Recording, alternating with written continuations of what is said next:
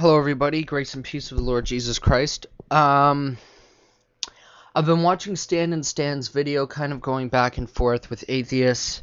I've done this on many occasions, um, many different debates. Um, but really, the thing that got me was this clip right here, and uh, he kind of said the same thing in the video response to Penn and Teller's. And really, this is really, I'm saying really too much. This is the um, part that I would disagree with. Mo- about mostly everything else he was saying, I do agree. But this part right here in particular, I think needs some light shed on it. It is for me. Uh, I've said many times that extremism of all stripes is the real root of the problem. I still think that's true, but that doesn't help you guys. And I think.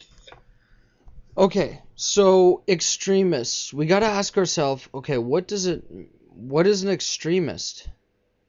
I think here terms are definitely important to be established and known because I find many people uh, they judge Christianity based on the acts of certain followers, but not on the doctrine. Whereas uh, with Islam, these atheists almost have the complete opposite view, where they say, "Oh, these are a few um, uh, radicals, and they're not, you know, the true uh, face of Islam, or however you want to put it." Um, but not so, and um, I think it's really important that this gets addressed. So, uh, when looking at it, first I want to relate a, a, bit of things to the scripture because this is just kind of what I do and what I'm about. Uh, when we look at Jesus commemorating people on their faith in the scriptures, in the gospels, it was one to a Roman pagan soldier. And he, what did Jesus say to him? He said, I have not seen faith like this, no, not even in Jerusalem. And Jerusalem was the city that had the true scriptures of God, that had the temple of God, that had the, the, the priest lineage, that had all of the right doctrine. Because they were a majority uh, group of beliefs, uh, sorry, a majority um, uh, population of the same beliefs, they became complacent in their views, meaning that that that their beliefs are right no matter how they acted or behaved. And I kind of see this in America as well, that Christianity is true no matter how they act and behave. It doesn't matter because it's true because almost everybody accepts it. Well, that is the case, that it doesn't matter how we behave. Um, truth is truth. 2 plus 2 equals 4, no matter how much I shout and rave, it's 5. Um, so, that being said, we also see that he commemorates the Samaritan woman on her faith when uh, with the healing of her daughter. Okay, so how can we relate that to today? Um, we see that the, the, that they, they aren't following when being persecutive of other people. They aren't following the right. Uh, they aren't following the teachings of Christ. Um, there's there's a great dynamic in being in a setting where you have different perspectives coming in because it allows you to step back and look at what you believe and judge it from the outside.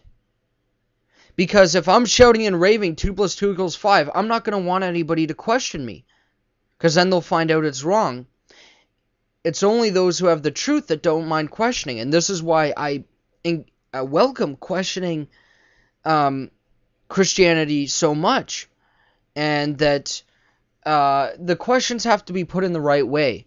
You can't just be, you know, badgering a, a pastor to ask these questions that you yourself don't even care to hear the answer for.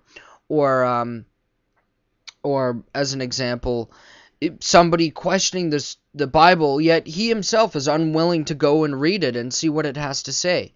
And I've noticed that that is a big case with a lot of atheists is they judge it even it stands guilty before they've read it.